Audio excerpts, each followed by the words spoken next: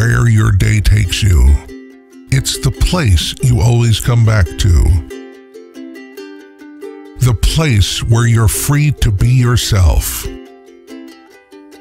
To share a meal and a laugh.